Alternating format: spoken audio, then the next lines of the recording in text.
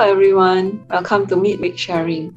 Clarence and I hosted our life group at our place prior to social gathering restrictions. And at one of the Thanksgiving sessions, I said that I thank God for our life group because having the life group over at our place made us clean our house more thoroughly. And in the Bible, we have some home fellowships too. Martha and Mary had Jesus and his disciples over at their house, and there are things that we can learn about Jesus from their conversations. Luke 10, verse 38 to 40 reads As Jesus and his disciples were on their way, he came to a village where a woman named Martha opened her home to him. She had a sister called Mary, who sat at the Lord's feet listening to what he said. But Martha was distracted by all the preparations that had to be made. She came to him and asked, Lord, why don't you care that my sister has left me to do the work by myself? Tell her to help me.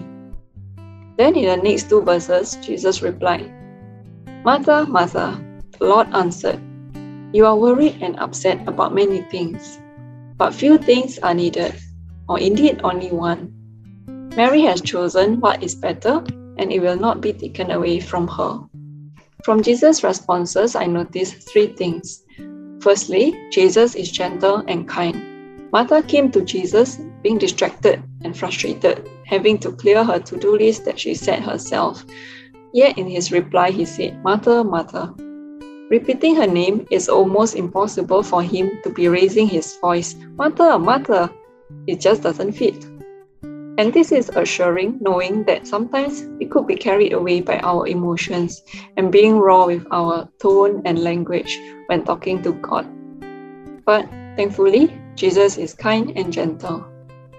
And secondly, Jesus gave Martha the free will to do what she wanted. Jesus would have probably noticed that Martha hustling around the house, preparing many things for Jesus and the disciples.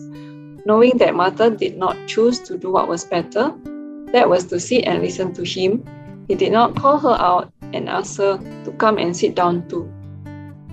If we intentionally or unintentionally become like Martha in our time with God, we could go on to be like her and not get scolded by God. But it doesn't mean that we have chosen the better one, or whether our action is in line with God's desire to commune with us. It may be simply because we have the free will and our God is not an authoritarian God. And thirdly, Jesus did not shortchange Mary when she has chosen to be present and commune with God. Jesus said it will not be taken away from her. Jesus did not ask Mary to go and help your sister. So if we choose to be like Mary, it is comforting to know that we can always go to Him and spend time with Him, although people may expect us to do uh, other things. And there will always be chores and errands to do. What is important is when we decide enough is enough. And instead of ticking off our to do list for the day, we tick off a box that says uninterrupted time with God. Do we set aside time to commune with God? Or when God speaks to us, do we, are we ready to sit down and listen? Or are we distracted by our to do list? Have a blessed week ahead.